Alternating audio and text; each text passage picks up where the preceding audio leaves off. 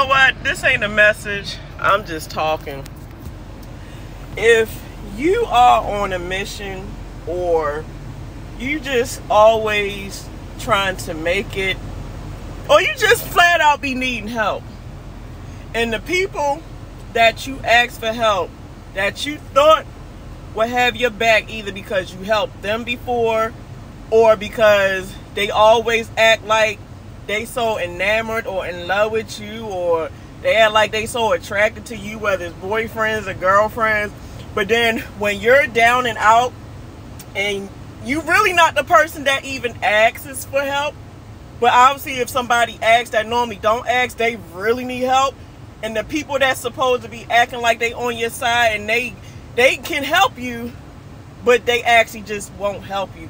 Cut them people off my thing is like for me i'm the type of person where i always get things done on my own. If anything i'm always the one giving out and helping people.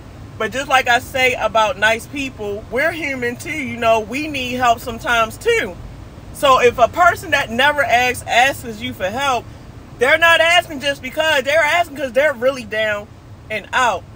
So my message to you guys is if this is you, don't keep being friends with that person that clearly could help you but said no.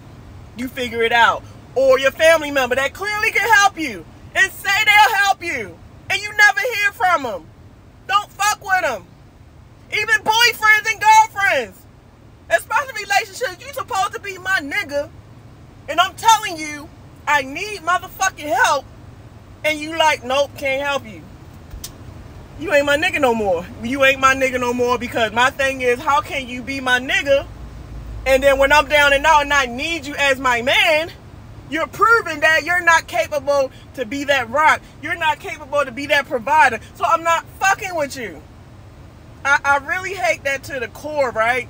because these same people that do not want to help you they always used to or, or try to come to you afterward with their hand out hey i'm low on my rent. Can you help me with rent? I need $50 here and there. Can you help me with this? I ain't got this. And i ain't most likely you be the one giving. But when it's your time to receive everybody give you their ass to kiss.